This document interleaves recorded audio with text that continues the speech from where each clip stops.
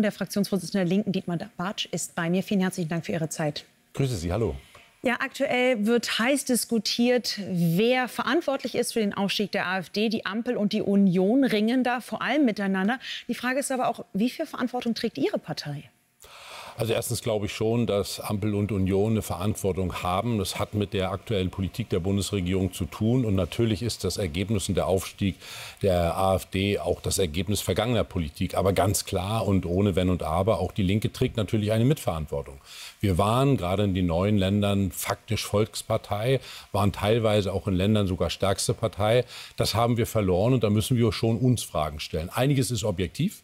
Da kann man auch kaum Veränderungen durchführen. Also ich sage mal, die Tatsache, dass wir in Regierungsverantwortung in Bundesländern waren und sind, trägt natürlich nicht unbedingt dazu bei, dass wir erste Adresse von Protest sind. Und all diejenigen, die vor allen Dingen protestieren wollen gegen Berlin und Brüssel, die sind jetzt häufig bei der AfD. Aber es ist Aufgabe, auch unsere Aufgabe, die AfD wieder zurückzudrängen. Denn das ist in der Substanz eine undemokratische Partei, egal wie man jetzt den Einzelnen bewertet. Ich kann die AfD an ihrem praktischen Agieren im Deutschen Bundestag und auch im Landtag Mecklenburg-Vorpommern etwas beurteilen. Und da ist ziemlich wenig Substanz. Sie haben es gerade gesagt, Proteste war auch oft ein Wählergrund für Ihre Partei. Wenn jetzt Protest aktuell bei den großen Themen Klima sehen wir, das Gendern, der Krieg in der Ukraine, Müssen Sie da Ihre eigenen Inhalte mehr anpassen oder glauben Sie, der richtige Weg ist, jetzt erst recht standhaft zu bleiben? Na, in einigen Fragen glaube ich schon, dass es um Standhaftigkeit geht. Wenn ich mir zum Beispiel das Thema Migration anschaue, da geht es auch um Standhaftigkeit. Aber vor allen Dingen muss deutlich werden, dass wir die Opposition sind. Wir haben von den Wählerinnen und Wählern einen klaren Auftrag auf der Bundesebene erhalten.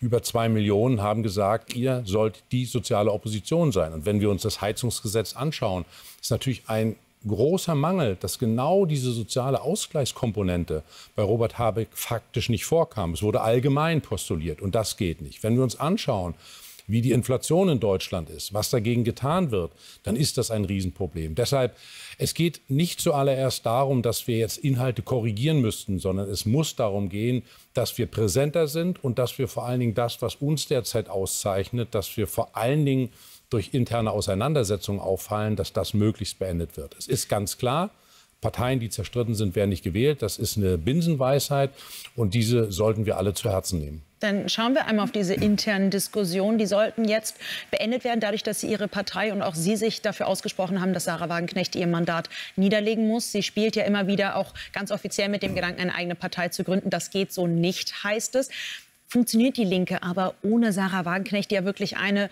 der schillerndsten Figuren ihrer Partei, der bekanntesten Figuren ist. Aber sind Sie, da will ich gar nicht auf Personen so abheben. Wenn das wirklich nur an Personen liegen würde, dann wäre es schlimm. Ich habe Sarah Wagenknecht nie zur Niederlegung des Mandates aufgefordert. Das werde ich auch nicht tun. Und sie hat auch klar gesagt, dass sie das nicht tun wird. Ich möchte, dass wir nicht die Dinge, wo es unterschiedliche Sichten gibt, die gibt es sehr wohl. Da entscheiden dann die Gremien, respektive auch Parteitage. Aber dann muss es darum gehen, dies in die Öffentlichkeit zu bringen und nicht die Unterschiede zu betonen. Und deshalb, ich sage ganz klar, ich bin Fraktionsvorsitzender und möchte, dass die Fraktion als gemeinsame Einheit erhalten bleibt und ihre Aufgabe im Parlament wahrnimmt. Und die Dinge, wo es unterschiedliche Sichten gibt, die gibt es ja, das ist ja offensichtlich. Das ist auch gar nicht das Problem. Wir waren immer eine pluralistische Partei. Alles andere, ich war mal in einer anderen, das ist ganz schlimm und äh, wo das hinführt, haben wir gesehen. Deshalb werbe ich dafür, dass wir da einmal schauen, was in anderen Ländern läuft, wenn Linke sich spalten oder abspalten. Italien ist ein wunderbares Beispiel. Vier linke Parteien, alle bedeutungslos. In Spanien sehen wir jetzt, wo das hinführt. Es kann sein, dass die Regierung Sanchez Schiss nach der Wahl nicht mehr im Amt ist, auch wegen der Linken oder mit Verantwortung auch von Linken. Das alles sind doch Dinge, wo wir ableiten sollten, lasst uns bitte zur Politik zurückkommen. Die Ampel bietet so viele Angriffsmöglichkeiten. Ich könnte da jetzt eine Stunde drüber reden, was dort an Politik meines Erachtens falsch gemacht wird und wo wir Menschen verlieren, wo sozialer Ausgleich verloren geht, wo wir auch äh, das Mittelmeer zum Massengrab machen, wo wir meines Erachtens beim Ukraine-Krieg nicht klug agieren. Das sind alles Dinge, äh, Dinge wo linke Positionen gefragt sind und wo ich mir wünsche, dass wir gemeinsam agieren. Das wird zumindest mein Bestreben bleiben. Dietmar Barsch, vielen herzlichen Dank äh, für diese Zeit. Dankeschön. Danke Ihnen. Wenn ihr mehr News aus unserem Team wollt, dann müsst ihr einmal hier klicken. Wenn ihr auf der Suche seid nach spannenden Dokus, starken Reportagen, dann geht's hier entlang. Und wenn ihr Welt abonnieren wollt, neu entdecken wollt, dann einmal hier klicken.